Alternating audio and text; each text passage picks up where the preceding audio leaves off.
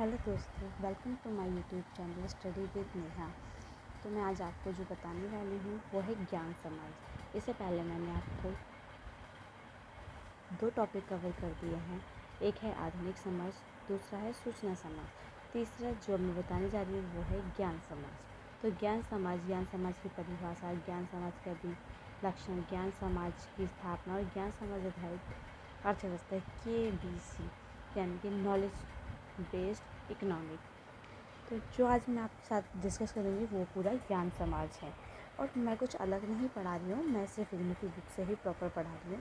अगर जिसको भी कोई दिक्कत आती है मुझे कमेंट कर सकता है। अगर मुझे किसी और टॉपिक को कवर करना है तो वो मुझे बता सकता है।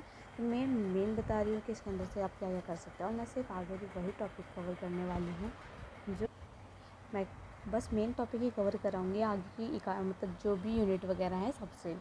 जो पेपर में आते हैं या जो इम्पोर्टेंट हैं। तो स्टार्ट करते हैं अपना टॉपिक ज्ञान समाज।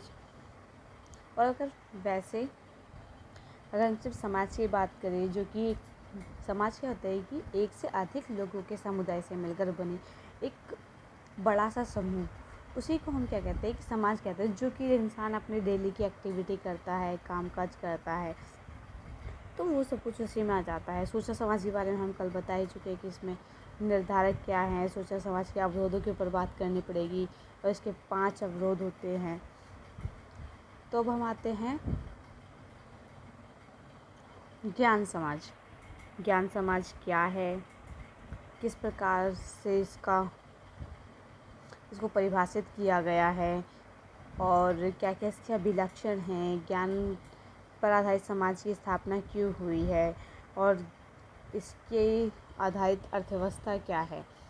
तो एक एक करके बस थोड़ा थोड़ा हम डिस्कस कर लेते हैं, लेकिन आपको पढ़ना तो पड़ेगा। अगर आपको लगता है कि मुझे एक लाइन को समझाना है तो वो मुश्किल हो जाएगा, लेकिन हाँ मैं आपको बस छोटे छोटे पहले में सब कुछ बताती जाऊँगी। तो आप इसमें पढ़ करके समझ सकते हैं कि आखिर ये कहना क्या चाहते तो ज्ञान समाज है क्या? एक छोटी सी परिभाषा में कहा जाए तो ऐसा समाज को कहते हैं जो मानव की दशा को बेहतर बनाने से संबंधित जानकारी को बढ़ाता है, आपस में साझा करता है या उस समाज के सभी सदस्यों को उपलब्ध कराता है। तो छोटी सी भाषा में कह सकते हैं जो मानव की दशा को बेहतर बनाए, उसे हम ज्ञान समाज कहते हैं। और कह सकते हैं कि जो एक ज्ञान समाज है वो समाज के सभी सदस्यों के लिए क्या है कि ज्ञान उत्पन्न करता है, साझा करता है और उपलब्ध करवाता है, जिसका उपयोग मानव स्थिति में सुधार के लिए किया जाता है। एक ज्ञान समाज, एक सूचना समाज से इस मायने में भी भिन्न हो सकता है कि जो ज्ञान समाज है वो सूचना के संसाधनों में बदलने का काम करता है और जो समाज को प्रभावी कार्यवाही की अनुमति भी देता है, जबकि जो ज्ञान समाज है वो केवल कच्चे डेटा का निर्माण और प्रसार करता है। एक तरीके से कच्चे डेटा यानी कि डेटा जो कि कलेक्ट करते हैं, उस पर ही निर्भर है। जो जानकारी को इकट्ठा करने का, उसको विश्लेषण करने की क्षमता पूरे मानव इतिहास में मौजूद रही है। तो हम कह सकते हैं कि जो ज्ञान समाज का जो विचार है, वो डेटा निर्माण और फिर सूचना प्रसार में व्यापक वृद्धि पर आधारित है, जो कि सूचना प्रौद्योगिकी के नव प्रवर्तन का परिणाम है। और और अगर हम इग्नू की बुक के अकॉर्डिंग कहें कि इग्नू की बुक कहना चाहता है कि जो कि आर्थिक वृद्धि एवं रोज़गार के प्रमुख संसाधन एवं उत्पादन के घटक के रूप में ज्ञान के द्वारा वर्तमान सामाजिक संरचना का रूपांतरण है, प्रगतिशील आधुनिक समाज की रचना के लिए मानदंडों का निर्माण करना है। यानी कि ऐसा समाज जिसमें ज्ञान एक महत्वपूर्ण एवं निर्णायक भूमिका निभाता है, वह अपनी शुरुआत में प्रयोगशाला की परिस्थिति को सुनिश्चित करता है। अगर हम कहें कि जो समाज है, समाज की जो रचना है, वो ज्ञान के ही द्वारा होती है। ये बड़ी आसानी और तथा गहनता से व्याप्त हो जाता है।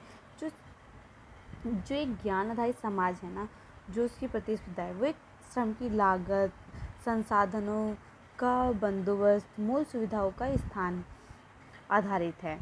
और ऐसा भी कहते हैं कि मतलब कि जो किसी जो कि किसी के अंदर जो मौजूद ज्ञान है, उस पर ज़ोर नहीं दिया जाता बल्कि किसी व्यक्ति द्वारा निर्मित ज्ञान पर ज़ोर दिया जाता है। जो ज्ञान होता है ना, वो पूर्णतः लोगों के अंदर ही मौजूद होता है। अतः यह भी है कि जो किसी भी राष्ट्र या किसी भी समाज की जो सबसे बड़ी संपत्ति है, वो उसके लोग हैं। यह एक ऐसा संसाधन है, जिसका बहुत कम मात्रा में उपयोग किया जाता है, जो किसी भी देश की बड़ी सफलता प्राप्त करने के लिए तथा अति विकसित देशों की पंक्ति में खड़े होने का अवसर प्रदान करती है। तो ज्ञान समाज का सीधा सीधा आंसर हमें मिल चुका है। अगर हम इसकी परिभाषा की बात करें तो इसमें अलग अलग जो राइटर हैं, उन्होंने भी अलग अलग परिभाषा इसकी दी है। यहाँ स्टीनोव ने भी अपनी परिभाषा दी है।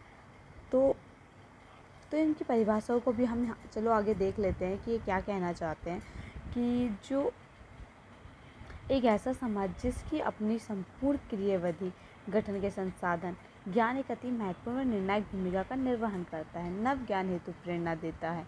तो इसको स्ट्रीन ऑफ़ यही कहते हैं कि जो ये है कि एक महत्वपूर्ण भूमिका निभाता है ज्ञान समाज में। और जो ज्ञान समाज है, वो श्रम, लागत, संसाधन, आधारभूत, जो मैंने अभी आपको बताया, वही सारा कुछ उसमें एक्सप्लेन किया हुआ है। अगर ज्ञान के अभिलक्षण की बात करें तो ज्ञान के क्या क्या अभिलक्षण हैं? जो ज्ञान समाज है, उसके कई घटक है। सबसे पहला, सर्वप्रथम, कि सभी क्षेत्रों में नवोत्पन्न ज्ञान का वृद्ध परिणाम है, जो निरंतर विस्तृत हो रहा है, जो कि हर दिन बढ़ता ही जा रहा है और चरम घाती रूप में वृद्धि कर रहा है। मतलब कि लगातार बढ़ने पर ही है, जो कि ज्ञान है लोगों में। जो इसके समस्त प्रकार प्रकाशन के रूप में भी हमें यहाँ पर देखने को मिलते हैं। ये कहते हैं कि विश्व में शोधों की कुल संख्या मतलब जो सर्च करता है, उनकी भी संख्या है काफ़ी बढ़ती जा रही है। वो भी तो ज्ञान के बन पे हुई ना। और उनका कहना है कि जो सूचना है और संचार प्रौद्योगिकी, ये सब भी आपस में एक दूसरे से जुड़े हुए हैं। तो ये सब भी हमें आपस में एक साथ जोड़ने जुड़े हुए की बात करते हैं। तो आगे इन्होंने बताया पूर्ण ज्ञान समाज के सभी लोग रखते हैं। वो है सूचना ज्ञान मुक्त संबंध अधिगम।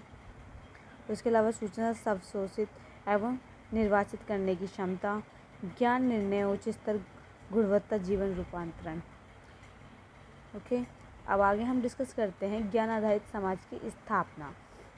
तो ज्ञान समाज उपलब्ध साहित्य की सावधानी से विश्लेषण करने पर यह प्रकट करता है कि जो ज्ञान आधारित समाज की स्थापना है, वे वाचनीय है और आगामी भविष्य के लिए भी अवलोकन करेंगे कि ये केवल संभव समाज और ज्ञान आधारित समाज की स्थापना की बात करें तो ऐसा भी कहा जाता है कि इस प्रकार की समाज की स्थापना एक राजनीतिक प्रक्रिया है। इससे राजनीतिक निर्णय लेने वाले एवं राजनीतिक कार्य व्यवहार की आवश्यकता है। और ऐसा कहा गया है कि जो ज्ञानाधारित समाज का जो उद्भव का अर्थ है ना, वह संपूर्ण अर्थव्यवस्था एवं सुरक्षित एवं कुशल कार्य पर, बल को हमेशा बढ़ती हुई मांग है। और इस संबंध का ध्यान देने बात यह है कि जो भारत सरकार द्वारा राष्ट्रीय ज्ञान आयोग एन के सी की नियुक्ति सही दिशा में उठाएगा ये एक कदम है। और हमारे ज्ञान संबंधी संसाधनों एवं मूल सुविधाओं के सुधार के लिए रूपरेखा की तैयारी का कार्य राष्ट्रीय ज्ञान आयोग की सुपुर्द कर दिया गया है। इसने अपनी रिपोर्ट जमा कर दी है, जो कि हमने ज्ञान आधारित समाज में दूर तक ले जाएगी। ये सब कुछ इसी में ही शो किया गया है। यहाँ राजनीतिक के बारे में बताया गया है और यहीं अर्थव्यवस्था के बारे में बताया गया है। मैं कुछ अलग से नहीं, इग्नू की बुक से ही पढ़ाऊँगी, जो भी पढ़ाना है।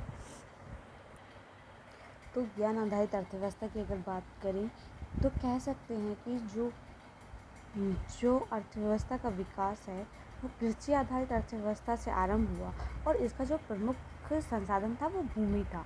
और उसके बाद औद्योगिक अर्थव्यवस्था आई, जिसमें कि प्रकृति संसाधन एवं श्रम प्रमुख संसाधन थे। और अब बात करें तो अब ज्ञान आधारित जो अर्थव्यवस्था का प्रादुर्भाव हुआ है, जिसमें ज्ञान प्रमुख संसाधन है। आर्थिक विश्लेषण को सुगम बनाने के लिए भी ज्ञान आधारित अर्थव्यवस्था के लिए महत्वपूर्ण विभिन्न प्रकार है कि क्या, क्यों, कैसे, किस प्रकार ज्ञान से अंतर किया जा सकता है।